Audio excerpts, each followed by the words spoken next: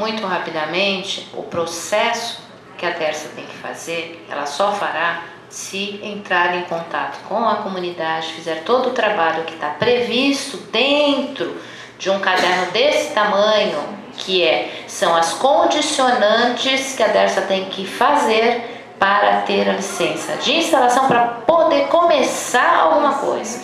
Então, assim, eu acho que nós estamos num momento ímpar né? E eu concordo com o professor Manuel.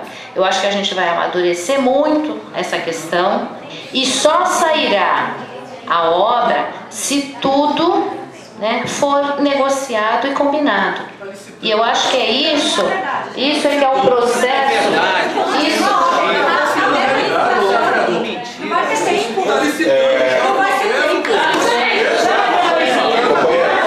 cartão vai ter voz, o Geto vai ter É, voz. e aí eu só- você põe um- Você tirou minha voz.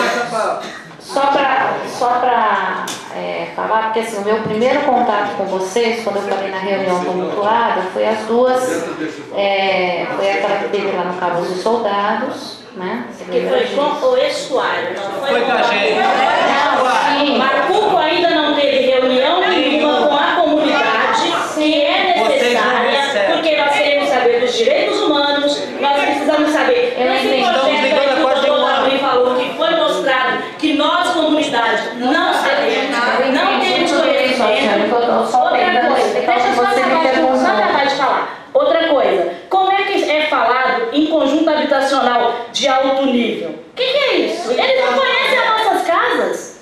Eles não conhecem. Eles não sabem quantos metros tem. O que é conjunto habitacional de alto nível? Ninguém quer isso.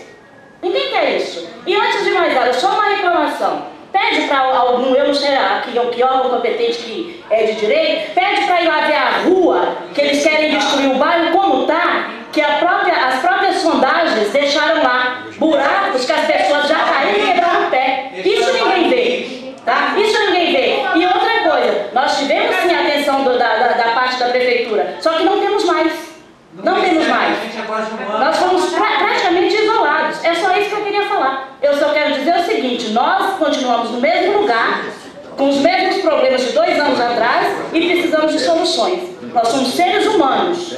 Nós não somos lixo, como, como estamos sendo tratados. Só isso que eu queria que, se você puder passar para o seu Paulo Alexandre, e se ele quiser me ligar, ele tem meu telefone, eu estou à disposição dele.